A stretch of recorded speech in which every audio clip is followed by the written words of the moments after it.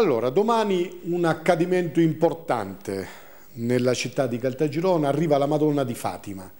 Eh, Fatima quest'anno celebra il centenario dell'apparizione della Madonna.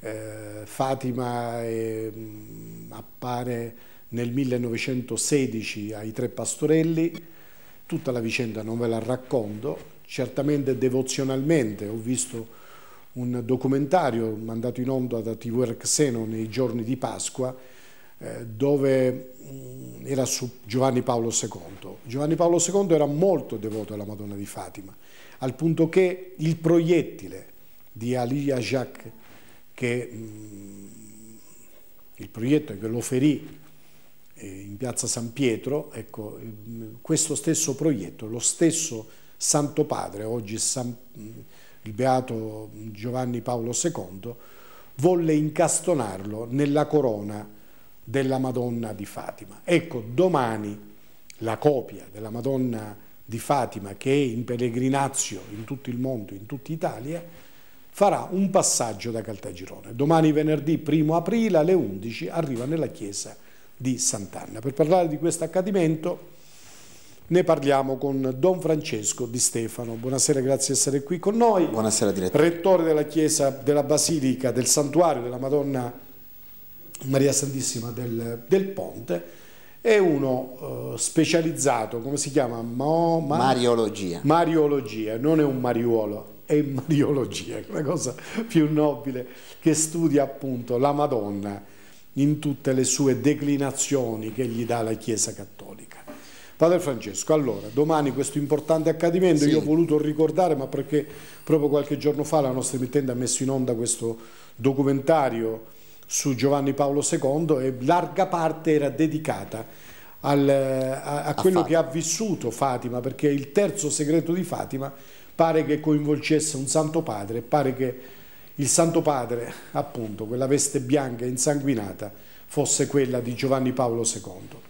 Mi viene la pelle d'oca, però questo si tratta. Ho voluto collegarlo, sì. non so se ho fatto bene ho fatto male, bene perché eh, Fatima, mm, noi oggi quest'anno ricordiamo il centenario delle apparizioni all'angelo, il prossimo anno 1917-2017 ricorderemo il, il centenario dell'apparizione. No, non è il 1916, 16, 16 ci furono delle apparizioni di un angelo Prima. per tre volte e quindi siamo in questo, Ce n'è una nel 1916. 16, sì, che fu fatta, fu avvenuta questi tre Pastorelli mm. e poi quella della Madonna che avvenne il 13 maggio del 1917 fino a ottobre del 1917 ogni 13 del mese.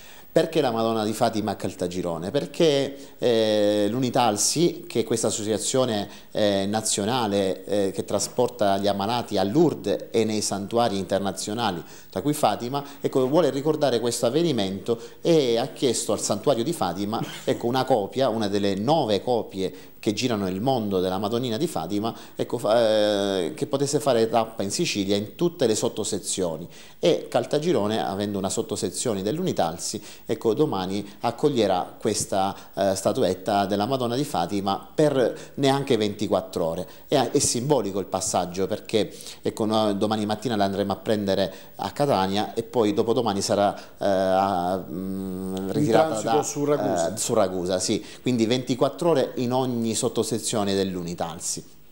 E domani mattina alle 11 arriverà a Sant'Anna, poi ci sarà una celebrazione eucaristica di accoglienza, nel pomeriggio un eh, Santo Rosario alle 17 con gli ammalati dell'Unitalsi e poi in processione alle 18 porteremo ecco, la, la, statua della Madonna di Fatima al santuario diocesano, quest'anno anche santuario giubilare e quindi lì farà eh, questa sosta per l'intera notte e all'arrivo della Madonnina il Vescovo, Sua Eccellenza Monsignor Calogero Peri, celebrerà l'Eucarestia. Tutta la serata sarà aperto il santuario ecco, per la venerazione dei fedeli fino a tarda notte. e alle 21.30 ci sarà una speciale veglia mariana ecco, ricordando il messaggio di Fatima che già questa sera in una catechesi eh, ho presentato a Sant'Anna eh, con eh, alcune sottolineature del messaggio e soprattutto anche dei segreti. E poi eh, giorno 2 sabato mattina alle 8 del mattino ci sarà la celebrazione eucaristica di conclusione di questa breve visita della Madonna. Ecco, e mh, mm, andrà a Ragusa per continuare questa questa pellegrinazio. Eh, l'introduzione che ha fatto lei, direttore, certamente è mh, interessante perché Fatima eh, diventa una delle apparizioni più interessanti di tutta la storia della Chiesa, perché mh, oltre al messaggio di penitenza che accomuna tutte le apparizioni mariane, anche quella di Caltaginone, della Madonna del Ponte, quella di Fatima avuto sempre, è stata suggestiva per i segreti, per questi tre segreti, o meglio l'unico segreto diviso in tre parti, dove l'ultimo si è poi attuato nella, in quell'attentato del 13 maggio del 1981. Sempre il 13 maggio. 13 maggio, non era stato rivelato sia di tutti i papi mh, prima a leggerlo fu Giovanni XXIII, il secondo Paolo VI. La richiuse lo conservò. Chiusero e sigillarono nuovamente. Anche Paolo VI fece E Paolo VI nuovamente fece la stessa cosa. Giovanni Paolo II non l'aveva voluto leggere.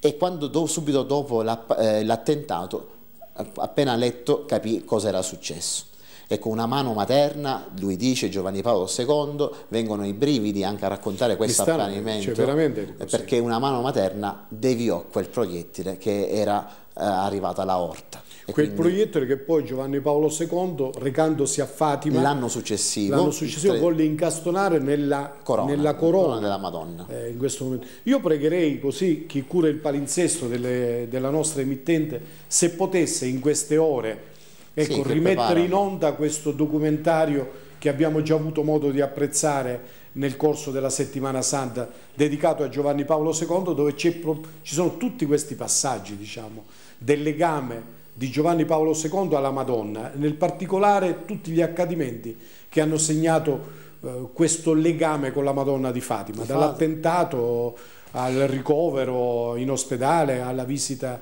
eh, a Fatima. A Fatima ma tutto il boh, Novecento. Se, tutto... se, la programmazione può metterlo in onda non, sare, non sarebbe male in queste ore che la città di Caltagirone vive questo fatto storico dell'arrivo della Madonna di Fatima a Caltagirone. Sì. Ripeto, il primo aprile e lascerà la nostra città poi il 2, il 2 per recarsi a Ragusa dove sosterrà ancora al 24 ore. 24 sta ore, correndo ecco. poverina. Sì perché deve eh, raggiungere tutto il mondo. tutti, diciamo, tutto il mondo quindi ecco queste nuove copie eh, un pochettino girano. Certamente la Fatima come dicevo eh, colpisce tutto il Novecento perché ecco, avviene in un periodo storico particolare. La Madonna chiede la consacrazione della Russia siamo nel 1917, in piena, ecco, guerra, in piena guerra, prima guerra mondiale e poi la rivoluzione russa del 1917, l'ottobre, il famoso che ottobre. afferma l'ateismo. E, e, allora proprio Maria, eh, Maria, vuole la consacrazione del mondo al cuore immacolato suo perché lo possa presentare al Signore. Poi secondo, la seconda parte del messaggio ecco, che ricorda e quasi preannuncia la seconda guerra mondiale, che poi avverrà, questo spargimento di sangue a livello mondiale, e poi l'attentato al Papa. E quindi è anche questo Papa che cammina in, tanti, in mezzo a tanti morti. Il Novecento è stato il, il secolo con più martiri cristiani, neanche i primi secoli. Noi ricordiamo i grandi santi, Sant'Agata, eh, Santa Lucia San come grandi martiri, certo. ma i, i, tanti martiri come il Novecento la Chiesa non l'aveva mai contati. E anche oggi. L'attentato del Pakistan di qualche giorno fa. Anche oggi, ancora oggi, ecco, questo sangue cristiano ecco, eh, fortifica il cammino della Chiesa e speriamo che veramente eh, il cuore dell'uomo, anche dinanzi a questi fatti così forti, possa essere toccato e possa cambiare. Ecco la conversione che chiede la Madonna a Fatima, che chiede in tutti i posti. E siamo anche nell'anno della misericordia, eh, siamo nell'ottava di Pasqua, nell'unico giorno di Pasqua, che questo oh, segno per Caltagirone, questo passaggio così veloce ecco, del messaggio di Fatima, perché la statuetta ecco, ci ricorda anche questo messaggio forte, che Caltagirone in questo momento storico possa veramente accogliere e farlo proprio per eh, un cambiamento, per eh, una conversione e per accogliere il messaggio della misericordia di questo giubileo e di questo anno speciale del bicentenario della nostra Chiesa diocesana. Va bene, allora ricordiamo domani venerdì 1 aprile alle 11 nella Chiesa di Sant'Anna arriva la Madonna di Fatima, ecco, ci saranno delle celebrazioni, poi nel pomeriggio alle 17 se non vado 17 Rosario, alle 17 ci sarà la recita del Rosario diciamo che eh, la Madonna di Fatima con l'apparizione raccomandava proprio la recita rosario. del rosario, diciamo, ecco, il rosario è la cosa più pregnante, più immediata. È la preghiera dei poveri di tutti. Perfetto. E quindi ci sarà la Rece del Rosario e quindi in processione dalla chiesa di Sant'Anna verso eh, il santuario della Madonna del Ponte dove c'è la seconda porta santa della misericordia che appunto per chi la attraversa può avere le grazie giubilari diciamo ecco.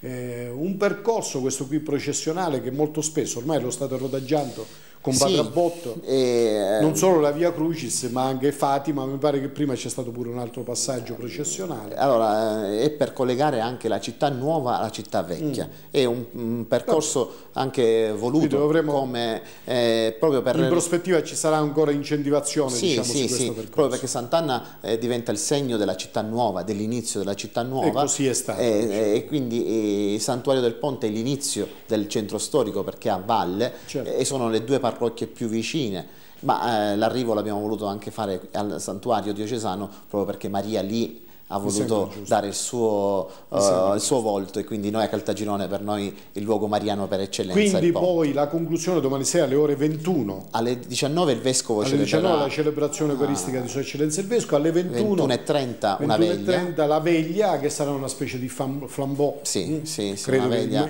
prova a immaginare una, una veglia come che sarà Fatima. una piccola Fatima diciamo. Eh? Vogliamo un pochettino riportare Fatima eh, al ponte eh, e poi la, fino a tarda da ora il santuario rimarrà aperto. Invito tutti ecco, anche a fare un passaggio, eh, a venire e passare alla Porta Santa, e quindi eh, venire al santuario. E poi l'indomani mattina ecco, alla messa alle 8 e mh, mm, lì daremo il saluto. Ma il messaggio lo vogliamo tenere per noi. Ecco, saluteremo la statuetta della Madonna che andrà a Ragusa, ma il messaggio lo faremo nostro. Bene, grazie a Padre Francesco grazie Di Stefano, rettore del santuario Mariano Diocesano Maria Santissima del Ponte, grazie di questa, di questa comunicazione, saremo certamente eh, presenti voi devozionalmente ma anche per curiosità per vedere e respirare quest'aria di Fatima che per 24 ore più o meno, anzi meno di 24 ore, impregnerà